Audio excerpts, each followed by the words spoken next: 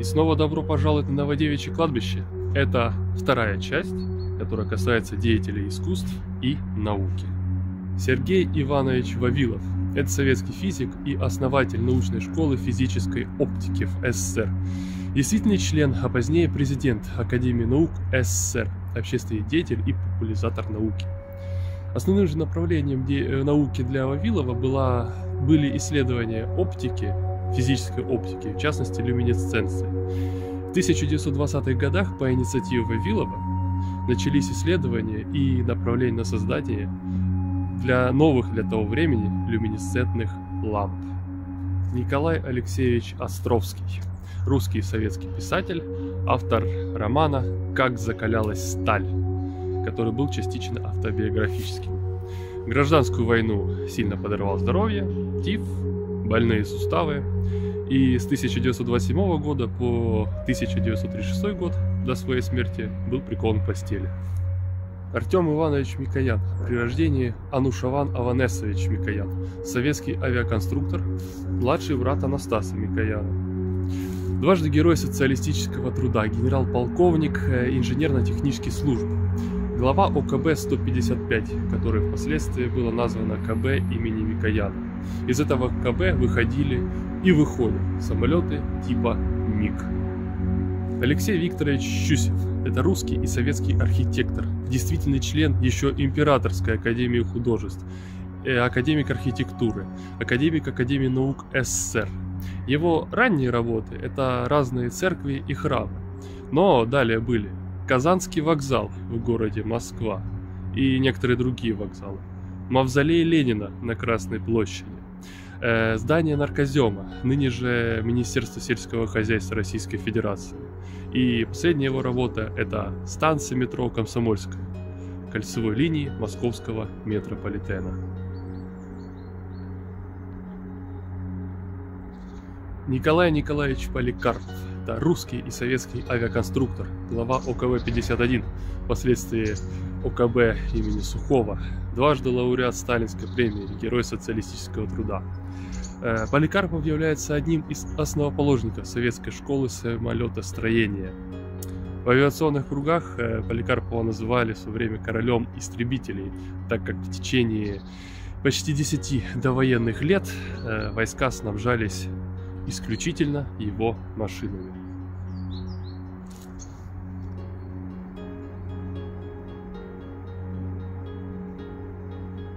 Владимир Владимирович Маяковский, русский и советский поэт, футурист, один из наиболее значимых поэтов 20 века, классик советской литературы. Помимо того, что он проявил себя как поэт, он ярко себя проявил как драматург, кинорежиссер, киносценарист, художник, редактор.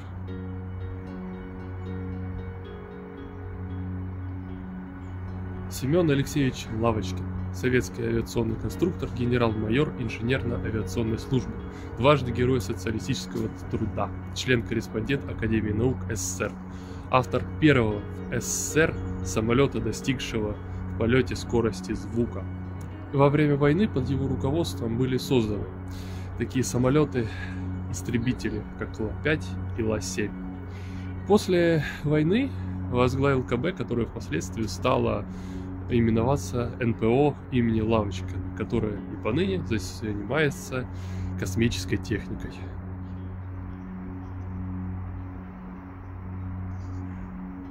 Василий Макарович Шукшин, советский кинорежиссер, актер, сценарист и писатель, заслуженный деятель искусств РСФСР. В основном авторы, герои книг, герои его фильмов – это русские люди в советской деревне, простые труженики, иногда не от мира сего. Э, последний фильм с его участием это «Они сражались за Родину», во время съемок которого он и умер. Знаете, как он говорил, не стыдно быть бедным, стыдно быть дешевым.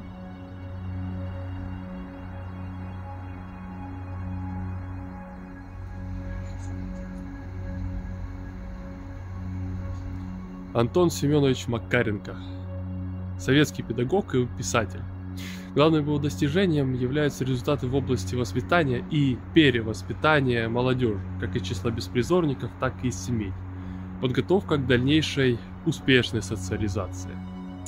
Как он говорил, научить человека быть счастливым нельзя, но воспитать его так, чтобы он был счастливым, можно.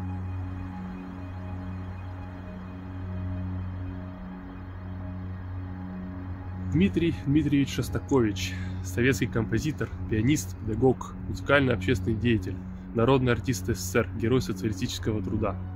Один из крупнейших композиторов 20 века, автор 15 симфоний, 15 квартетов, 6 концертов, 3 опер, трех балетов и многочисленных э, произведений камерной музыки.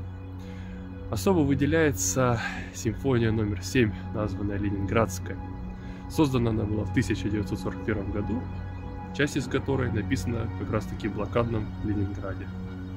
Академик Александр Александрович Байков, химик, материаловед, металлург, член-корреспондент Академии наук СССР, академик Академии наук СССР, заслуженный деятель науки и техники РСФСР, известный ученый в области физика, химии, металлургических процессов и прикладной неорганической химии.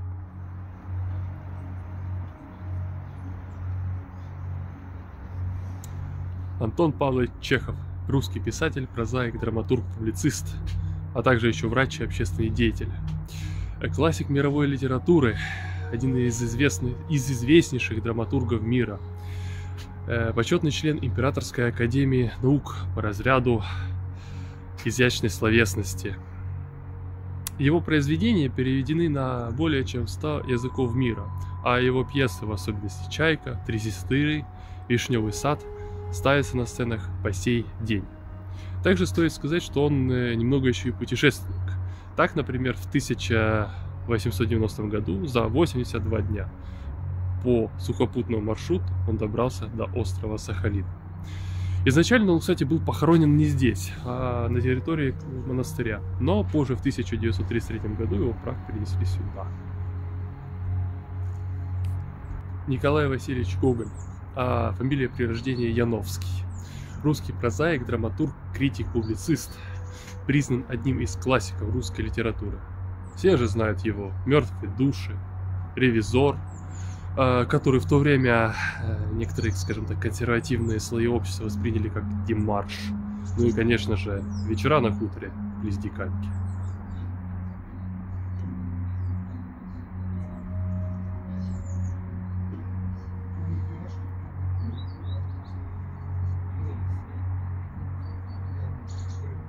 Константин Сергеевич Станиславский, а настоящая фамилия его Алексеев. Это русский советский театральный режиссер, актер, педагог, теоретик и реформатор театра. Э, первый народный артист СССР, создатель знаменитой актерской системы, которая впоследствии была названа системой Станиславского, которая популярна и используется уже более ста лет, сейчас как и в России, так и за рубежом. Михаил Афанасьевич Булгаков, Русский писатель советского периода, врач, драматург, театральный режиссер и актер. Его известные произведения это «Собачье сердце», «Белая гвардия», Иван Васильевич и, естественно, роман, который принес ему мировую славу «Мастер Маргарита». На его могиле, по ходатайству его супруги Елены Булгаковой, э, был установлен камень, э, прозванный Голгофой. Этот камень ранее стоял на могиле у Гоголя, которого мы видели ранее. Стоит, конечно, сказать, что этот камень не просто взяли с могилы Гоголя и поставили сюда. Нет, на могиле Гоголя была, получается, реставрация, реконструкция, и поставили новый памятник, а камень лежал без дела. После этого поставили сюда. Ну и тут же вместе с Булгаковым похоронена его супруга Елена, которая и ходатайствовала об этом камне Голгофа. Елена при этом пережила трех своих мужей и еще и старшего сына. Илья Арнольдович Ильф а при рождении Иехиел Лейб Арьевич Файнзельберг. Это советский писатель, драматург, сценарист, фотограф, журналист. Значительную часть художественной прозы была написана Ильфом со- в соавторстве с Евгением Петровым. В том числе 12 стульев, Золотой теленок и книга Одноэтажная Америка, ну и прочее.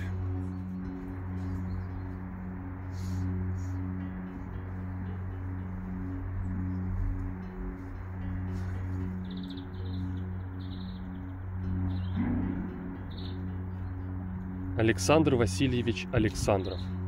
Это русский и советский композитор, хоровой дирижер, хормейстер, педагог, народный артист СССР, доктор искусствоведения, лауреат двух сталинских премий первой степени и генерал-майор.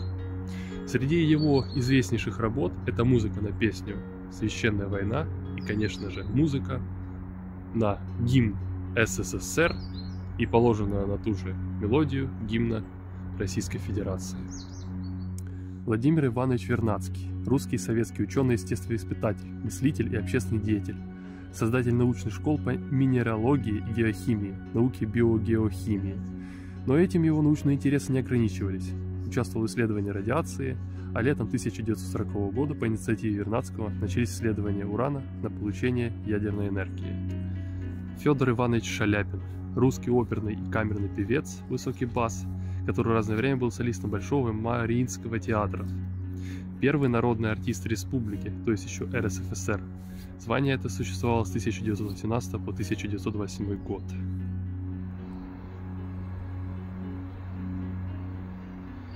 Сергей Михайлович Эйзенштейн, советский режиссер театра и кино, художник, сценарист, теоретик искусств, педагог, профессор ГИКа, заслуженный деятель искусств РСФСР, доктор искусствоведения.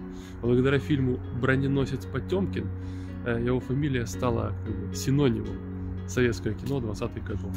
Также среди его значимых работ это фильмы «Иван Грозный» и «Александр Невский».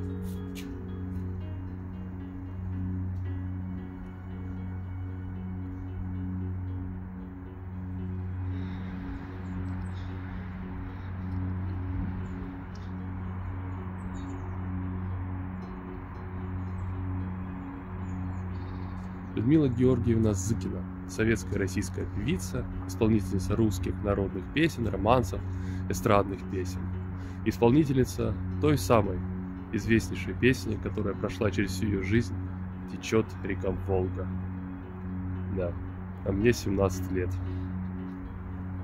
Юрий Владимирович Никулин, советский российский артист цирка, то бишь клоун, цирковой режиссер, киноактер, телеведущий – а широкому телезрителю, зрителю он известен наиболее как э, гайдаевский балбес и исполнитель главной роли в фильме «Бриллиантовая рука».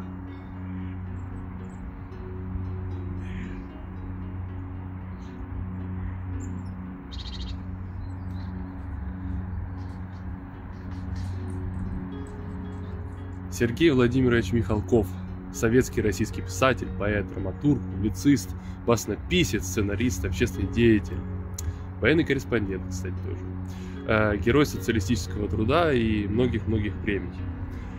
Ранее мы видели могилу Александрова, композитора, который э, написал музыку для гимнов СССР и гимна Российской Федерации. А Михалков же известен в первую очередь тем, что он был соавтором гимна СССР и автором гимна Российской Федерации.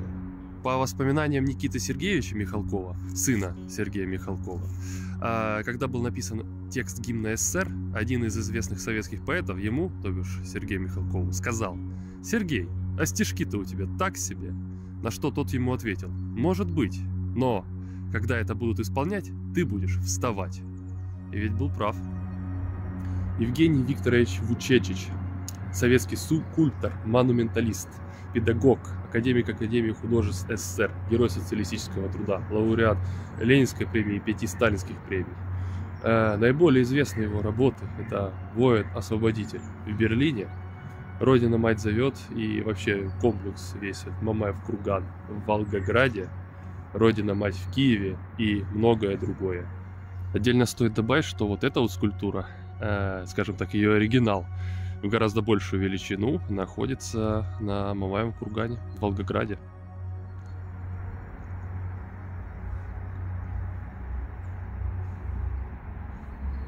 Юрий Васильевич Яковлев, советский и российский актер театра и кино, народный артист СССР, один из самых популярных актеров Советского Союза, исполнитель более 150 различных ролей театра и кино. Э, в кино он наиболее узнаваем по таким ролям, по таким фильмам, как «Гусарская баллада», «Иван Васильевич меняет профессию», Ирония судьбы или с легким паром, тот самый Ипполит. И Кинзадза.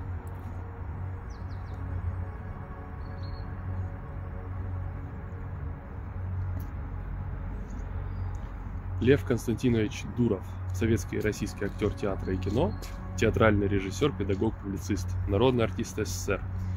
Снялся во множестве фильмов, но на второстепенных ролях.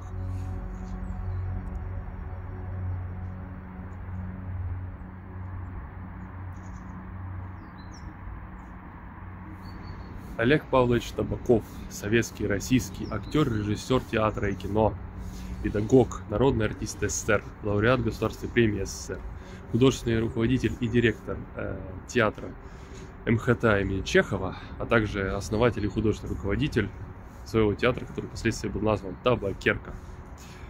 А основные роли, по которым узнаваем Олег Табаков, это, конечно, Вальтер Шелленберг из «17 мгновений весны» и его голос озвучки из э, мультфильма «Трое Простоквашино» Кот Матроскин.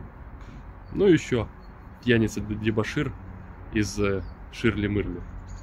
Ну, и рядом с ним, с Табаков, находится Леонид Сергеевич Броневой, отчество при рождении Соломонович, советский российский актер театра и кино, народный артист СССР. Большую часть своей профессиональной деятельности провел в театре, но с 1964 года снимался в кино. И наиболее известная роль, которая принесла ему популярность в кино, это, конечно, ранее упомянутый «17 мгновений весны», роль э, Генриха Мюллера. Многие реплики телевизионного Мюллера, конечно, разошлись э, крылатыми выражениями на цитаты в народ. Например, самое известное «Штирлиц, а вас я попрошу остаться». А вообще его 10-минутный диалог в одном из последних, э, получается, в одной из последних серий этого многосерийного фильма э, не теряет своей актуальности до сих пор. А его вот эта вот смена, смена мимики лица с такого улыбчивого, немножечко уже в возрасте мужичка, в суровую личность до дрожи.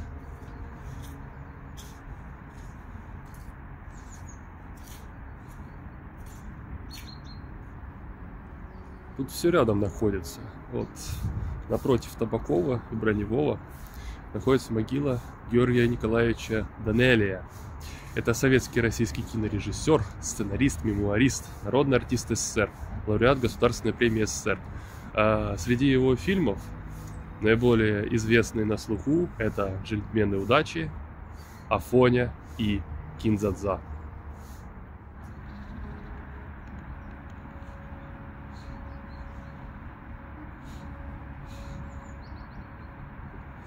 Михаил Михайлович Жванецкий, настоящее отчество Маньевич, советский и российский писатель, сатирик, исполнитель собственных произведений, литературных произведений, киносценарист, телеведущий и актер.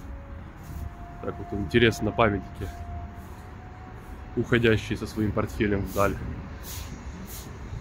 Василий Семенович Лановой, советский и русский актер театра и кино, мастер художественного слова, то бишь чтец, общественный деятель, театральный педагог, герой труда Российской Федерации и народный артист СССР.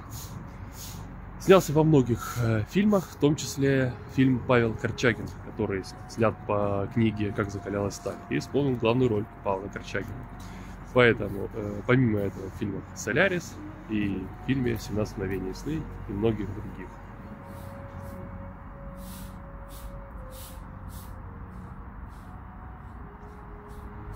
Владимир Валентинович Меньшов, советский российский актер, кинорежиссер, сценарист, продюсер, телеведущий, педагог, лауреат множества советских кинопремий, но самое главное, самое интересное, что он лауреат премии Американской киноакадемии «Оскар» за лучший фильм на иностранном языке «Москва слезам не верит», где он был режиссером. Помимо этого, он также был режиссером такого известного фильма, как «Любовь и голуби», и как вот можем увидеть на памятнике, голубя. Да. Ну и также исполнители разных ролей в кино, в том числе фильм «Ликвидация» и исполнил роль Георгия Константиновича Жукова. Вообще, я скажу, кладбище не очень-то и ну, большое само по себе, хоть и захоронений тут очень, очень много, что-то около 22 тысяч, но тем не менее. Вот могила Меньшова. Вот могила Ланового. Вот, чуть дальше перейти. Пожалуйста, могила Жванецкого. А если вот пройти, опять же, чуть дальше,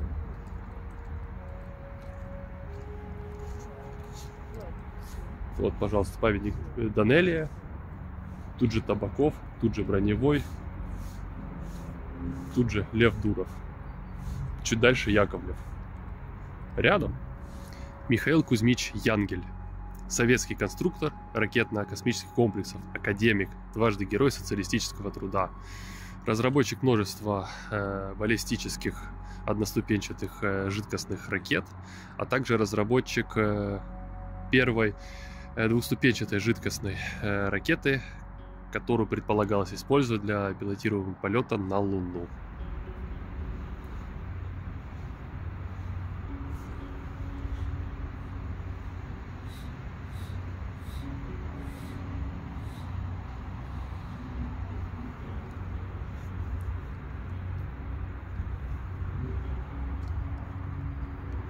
Андрей Николаевич Туполев, советский ученый и авиаконструктор, э, генерал-полковник инженер, доктор технических наук и академик Академии наук СССР, трижды герой социалистического труда. Под руководством Туполева спроектировано свыше 100 типов самолетов, 70 из которых строились серийно. Николай Ильич Камов, советский авиаконструктор, создатель вертолетов серии К, доктор технических наук, э, герой социалистического труда, 1940 году стал главным конструктором КБ вертолетостроения, позднее названного ОКБ имени Камова. Камов и Николай Кириллович Скрижинский э, предложили само название, слово «вертолет».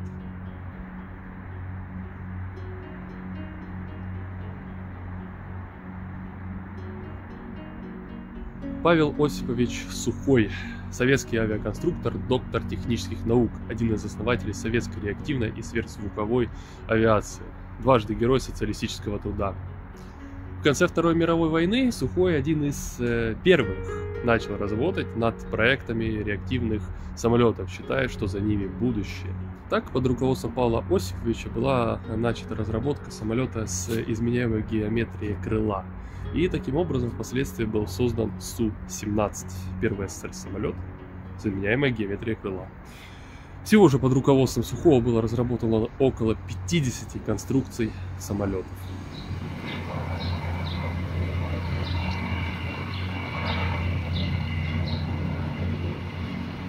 Николай Кириллович Скржинский, советский авиаконструктор. Вместе с Камовым, ранее упомянутым, Построил первый в СССР автожир Каскр-1 или же Красный инженер. С 1957 года главный конструктор ОКБ Яковлева. Участвовал в создании истребителей Як-9, Як-3, Як-25, а также вертолета Як-100.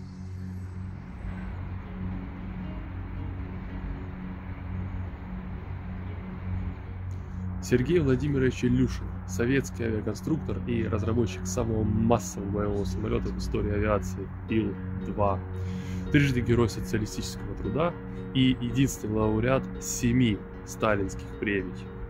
Генерал-полковник, академик Академии наук СССР.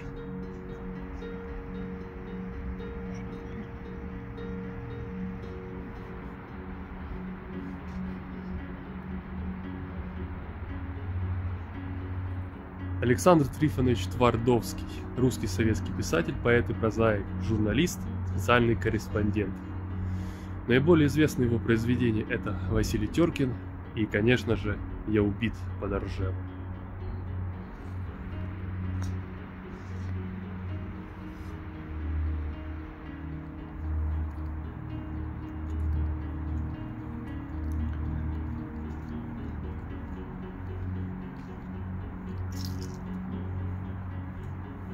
Александр Сергеевич Яковлев, советский авиаконструктор, член-корреспондент и академик Академии наук СССР, генерал-полковник авиации и генерал-полковник инженер, дважды Герой социалистического труда, лауреат Ленинской и шести сталинских премий.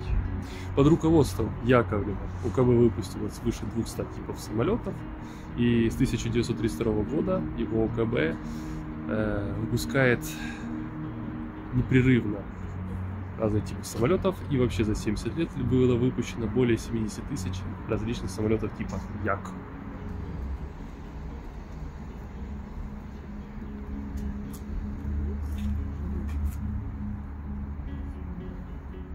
Людмила Марковна Гурченко, советская и российская актриса театра и кино, эстрадная певица, режиссер, народная артистка СССР. Из наиболее известных работ ее участием можно выделить фильмы «Вокзал для двоих» и «Любовь и голуби».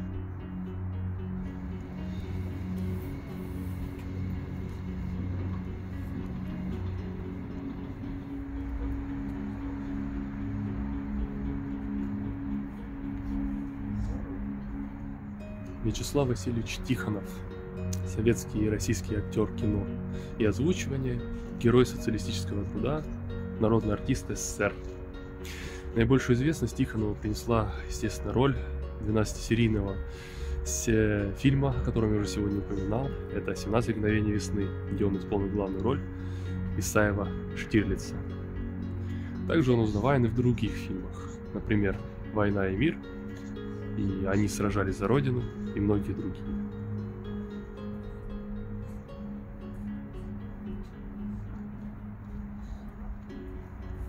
Сергей Федорович Бондарчук – это советский актер театра и кино и озвучивания, кинорежиссер, сценарист-педагог, герой социалистического труда и также лауреат нескольких государственных премий СССР. Эм, ранее вот только что возле Вячеслава Тихонова который похоронен здесь рядом. Я упоминал такие фильмы, как «Они сражались за Родину», «Война и мир».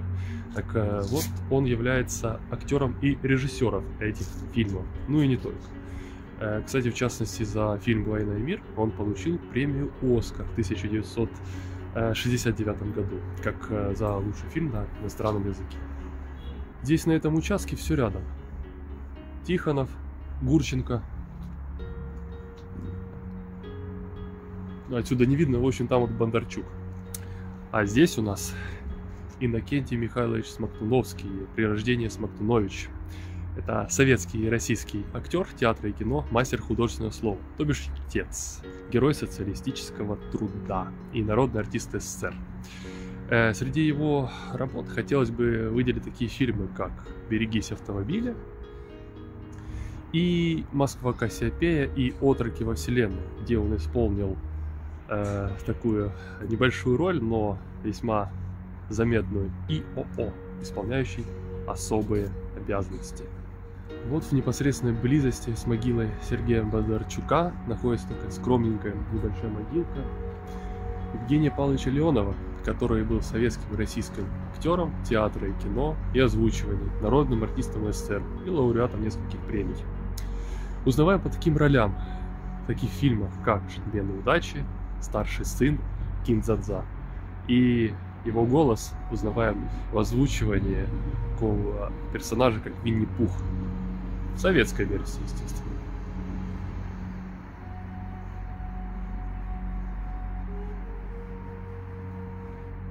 Здесь, рядом с деятелями искусств, расположилась могила Петра Дмитриевича Грушина. Это советский российский ученый, авиаконструктор и конструктор в области ракетной техники академик Академии наук СССР. Примечательно, что вторую звезду Героя социалистического труда он получил за разработку зенитно-ракетного комплекса С-300П в 1981 году.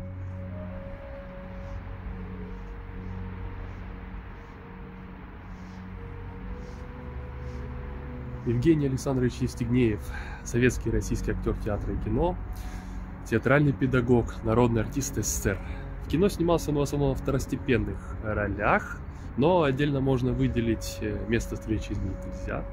17 мгновений весны уже в какой раз мы упоминаем и сегодня. И собачье сердце, где он исполнил роль профессора Преображенского.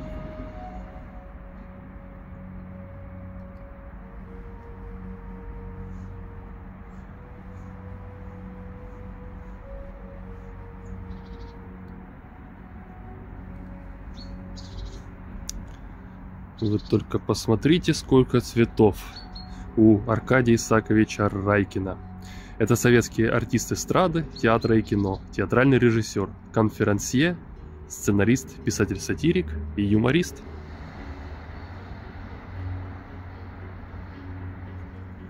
Анатолий Дмитриевич Папанов, советский актер театра и кино, театральный педагог и режиссер, э, народный артист СССР.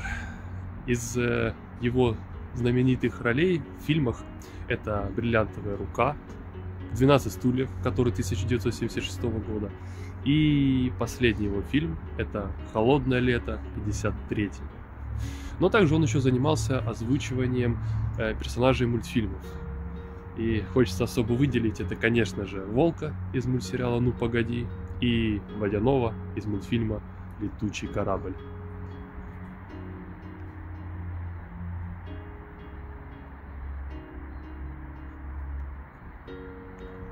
Эльдар Александрович Рязанов, советский и российский кинорежиссер, сценарист, актер, поэт, драматург, телеведущий, педагог, продюсер и вообще народный артист СССР.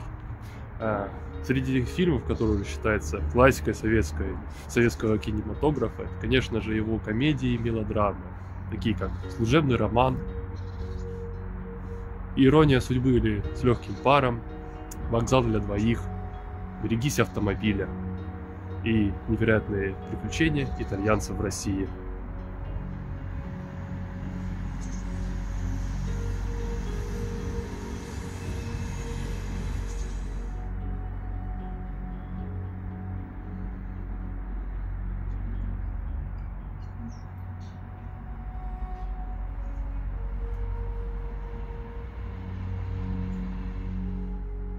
Как много цветов у Дмитрия Александровича Хворостовского, который был советским и российским оперным певцом, баритон, народный артист Российской Федерации.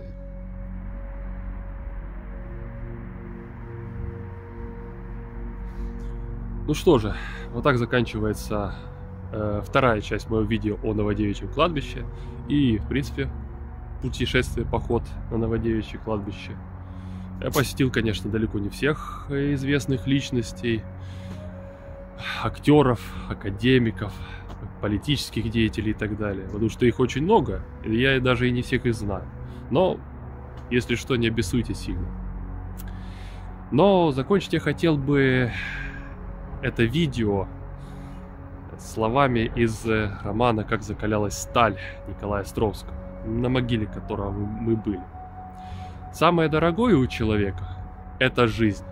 Она дается ему один раз, и прожить ее надо так, чтобы не было мучительно больно за бесцельно прожитые годы, чтобы не жег позор за подлинное мелочное прошлое, и чтобы, умирая, смог сказать «Вся жизнь и все силы были отданы самому прекрасному в мире – борьбе за освобождение человечества». И надо спешить жить, ведь нелепая болезнь или какая-нибудь трагическая случайность могут прервать ее.